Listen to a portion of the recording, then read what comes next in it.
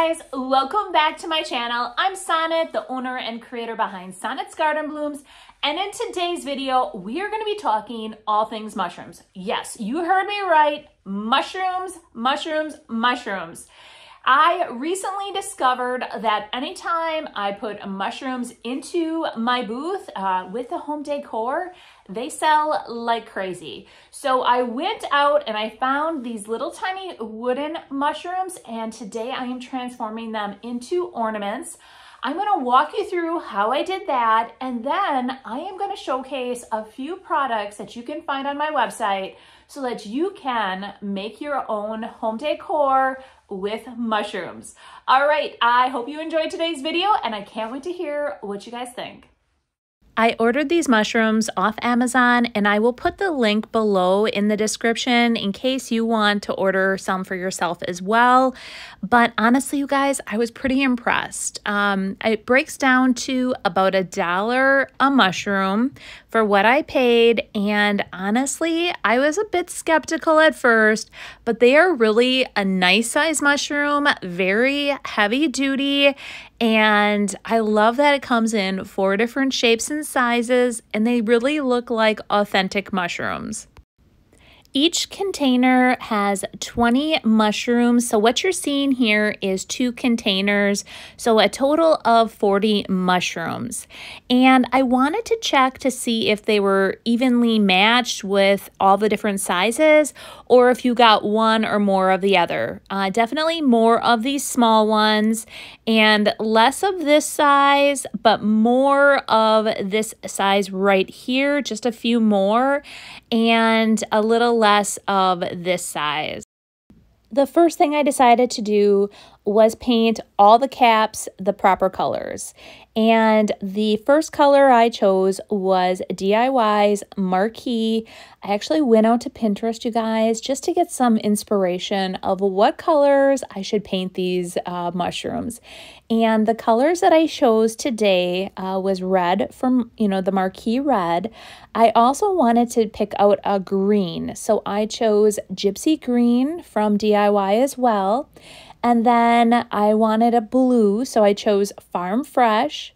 And then I was looking at the pictures and there was always like earthy oranges. And so I thought Summer Crush would be the perfect orange for that. And then I'm like, oh my gosh, I have to hit up my neutral folks. I have to have some neutral colors. So I grabbed vintage linen. I thought definitely add some white. Um, and then the accents on the white I thought would be good would be like black. And then I decided to add in a bit of gold. And I am going to show you all those colors now.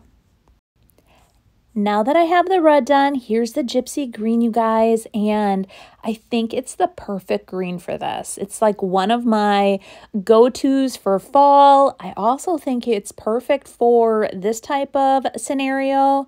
Next, uh, we're doing Farm Fresh, and again, another beautiful, beautiful color. This is perfect for like a more of a neutral Christmas tree as well. Now here is that Summer Crush and again another favorite fall color for me but this again is a perfect color for a mushroom cap.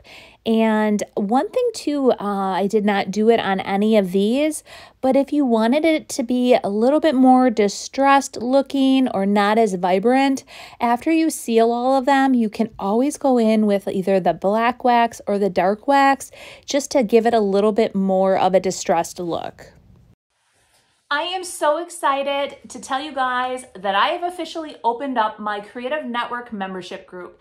I do this every six months, so the next time it will be open is in April, and that, guys, will be the two-year anniversary. So I'm super excited about the membership group.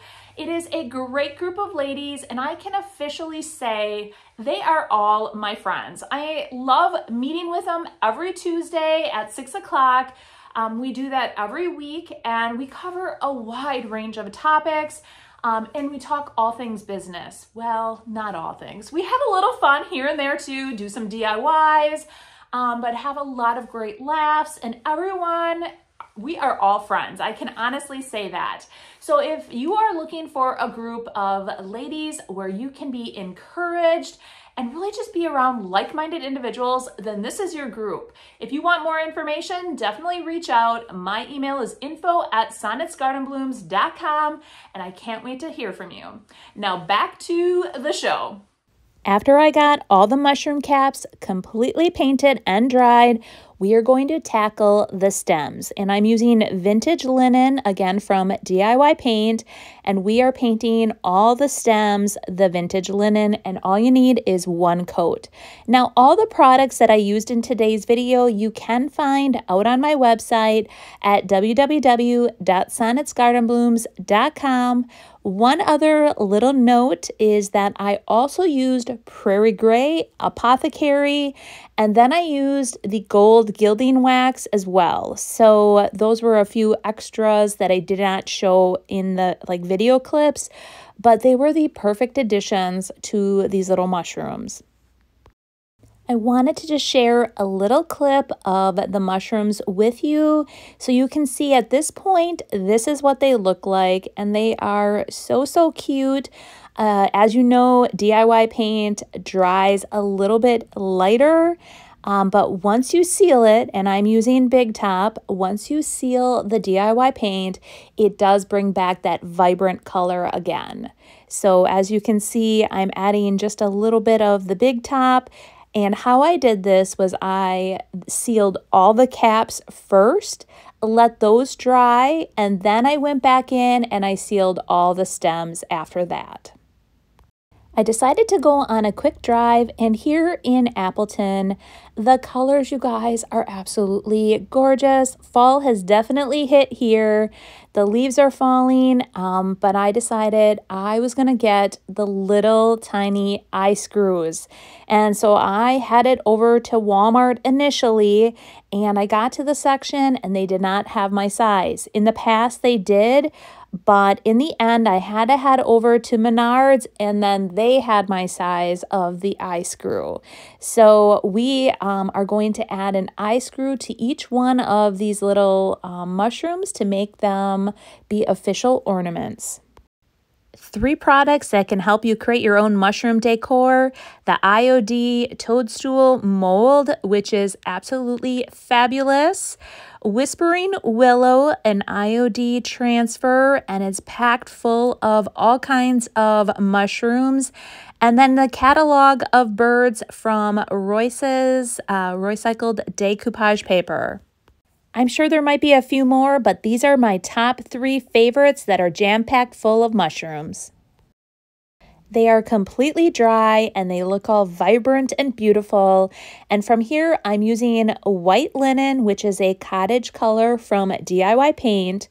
And the difference between the cottage colors and the DIY clay-based paint is that there is a top sealer built in to the cottage colors. So once I decorate up these little mushrooms, there is no need to seal. So I have a very fine tip uh, paintbrush that is perfect for adding little dots to the mushroom caps. And I'm just going to add a series of dots to all the mushrooms. And I'm doing this very random. So I'm just adding a dot here and there and just making it look very random. Um, and after I did these small little dots, I decided I wanted to add some bigger dots and just make them all look very unique, um, just like a mushroom is. Now, when I was talking bigger dots, like on this one, I am just going to randomly go in and just paint a little round circle here and there, and they don't have to be perfect. I recently watched The Painted Photographer on one of her Wednesday night lives, and she um, painted a snowman, and just how she was painting and adding some depth with different colors she very, very much inspired me. Um, yes, I'm only painting little dots, but I was completely inspired by what she did over on her Wednesday Night Live in painting her snowman. So um, once I got all the little white dots um, put on all the mushrooms, then I decided to go back in and I added added a little bit of gold here and there. And after, and I, unfortunately, I did not get any of this on video, but what I did afterwards, after I added the gold, um, to give it a little bit more depth, uh, like she did on her paintings, is then I went in and I did not have a black paint pen, but I did have a black Sharpie marker, which is a very fine tip marker. And then I added a little bit of um, just a, a little squiggly line on each of the little white and gold dots just to add a little bit more um, just interest to each of these mushrooms. Now that I completely decorated the mushrooms how I wanted them, I am going in and I'm going to add that eye screw that I went and had to buy. I am taking a little bit and I am going to pre-drill um, a little hole with that bit. And this makes it go so easy. The only tip I have for you guys is that these little fine bits are very delicate. So don't put a lot of pressure on when you're pushing them in. I mean, they will break. I've had numerous times where thank goodness I buy a three pack of these little bits because they end up breaking because I put too much pressure. So just let it do its job and don't put too much pressure when you're pushing down and, and drilling in.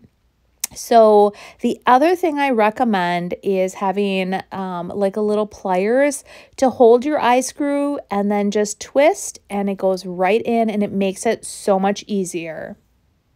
I just hold the little eye screw with the pliers and then I actually start the little eye screw um, in that hole and then I just twist it right on in and it really goes by that much quicker. Um, but this whole process was it was just so relaxing, you guys. I honestly the la- this last week has been very difficult with my back pain and i really was not inspired at all to do anything. Um, I, I guess i had forgotten how debilitating a back pain can be or any pain um, but i did not want to move. I got into a comfortable position and i felt like that's all i wanted to do was lay around and do nothing and when I started feeling a little bit better, um, I actually had to force myself to go in and do this project. And it was exactly what I needed to do to get myself re inspired. And, um, you know, sometimes you just got to give yourself a good kick in the butt and get going.